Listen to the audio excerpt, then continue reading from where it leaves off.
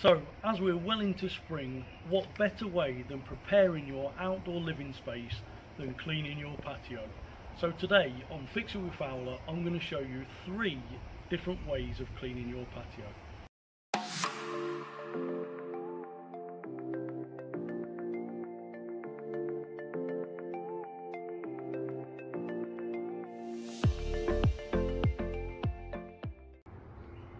So first we're going to start with a standard pressure washer. Next we're going to use the pressure washer with a specific patio cleaner attachment. And finally we're going to use Amazon's top selling patio cleaner. In this case it's Patio Magic. So as you can see this patio is really filthy. So what we're going to do, we've selected three different slabs which are all about as bad as each other they're spaced apart so that when we clean one slab we're not going to contaminate another. So we're going to do the three independent tests and then we can review them after. So for the first two tests we're going to use this Karcher K2 pressure washer. Now I've actually had this for quite a while, really good bit of kit. Everything that we're going to be doing in this video, there'll be links in the description if you want to buy any of these products. So this Karcher K2 pressure washer comes with two lances, a variable power lance and a dirt blaster. For this one, we're going to be using this dirt blaster lance, which is specifically designed for cleaning patios. A top tip for you here, if you're going to be using a jet wash, always plug the water in first and ensure water is running through your jet wash before you plug it in and turn it on. Now, if you don't do that, you've got a chance of running this motor dry which actually will damage it and could potentially burn the motor out. So always make sure that you plug the hose in turn the water on ensure water is coming through the lance before you plug it in. Test number one the Karcher K2 pressure washer with the dirt blaster lance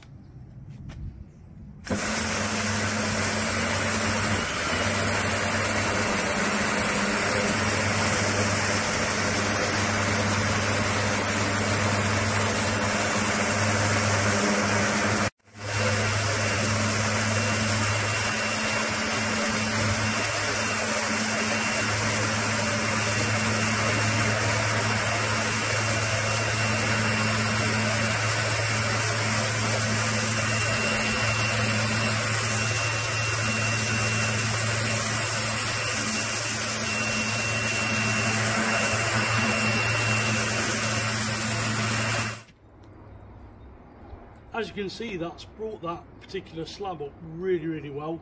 Minimal effort and didn't take very long at all. So that's the first test done. So on to the next. Test number two the T150 Karcher patio cleaner. So all you do with this you can attach it directly to the handle or you can have an extension piece. It just clips into place like that. Now underneath you can see that it's got two nozzles. When you squeeze the trigger they propel round and the high pressure jets should then clean the patio. So let's give it a try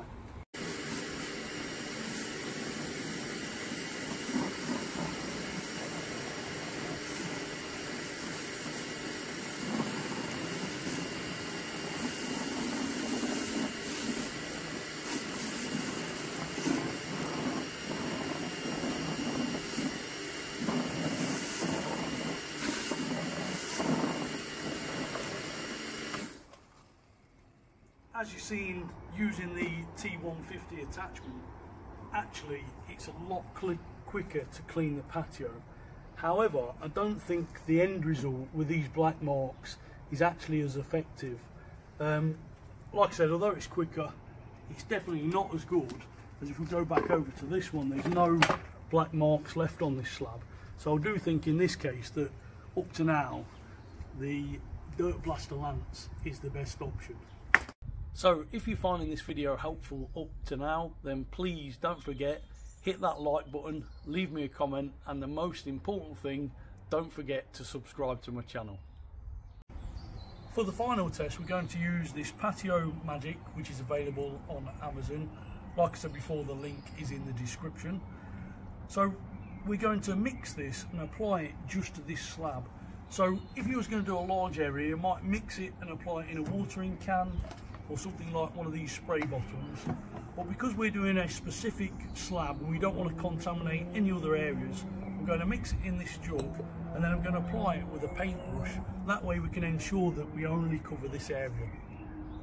So according to the product, it says destroys mould, algae and lichens on all kinds of hard surfaces including brick paving, patio, glass, perspex, garden furniture, walls, paved areas and driveways. So in this particular instance, this product is ideal. So for this, we're going to be mixing it one part chemical to four parts water. It does give you details of different strengths to mix depending on what you're going to use it for.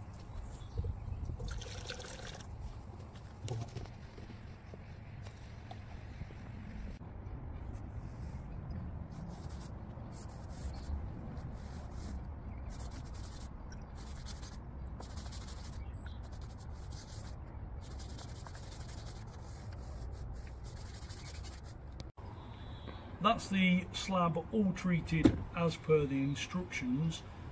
The only thing we need to do now is leave this slab for two to four days to give the biocide a chance to work and actually clean the slab. So we'll come back and revisit this in about four days and we'll actually compare all three and see which is the best.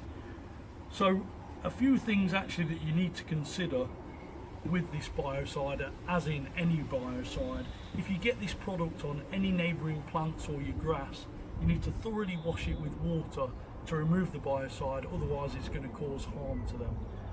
The second thing and probably the most important thing if you've got pets you need to keep them away from the area until the product is thoroughly dry.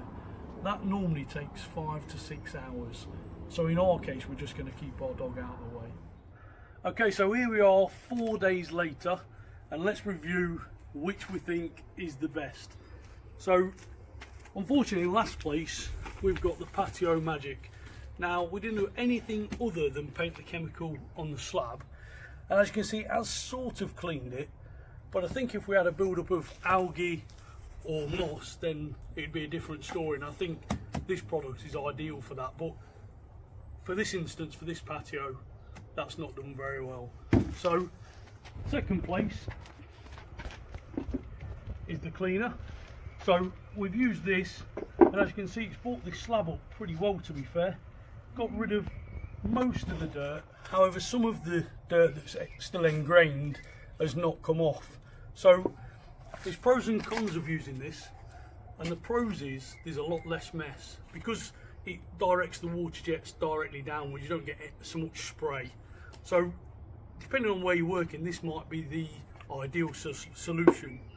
But if you want your patio sparkling clean then my advice is to get yourself a Karcher jet wash and a dirt blaster lance now this particular slab has come up really really well. There's no come out. There's, there's no dirt left on on the actual slab itself. It's really clean and now all I've got to do is the rest of the patio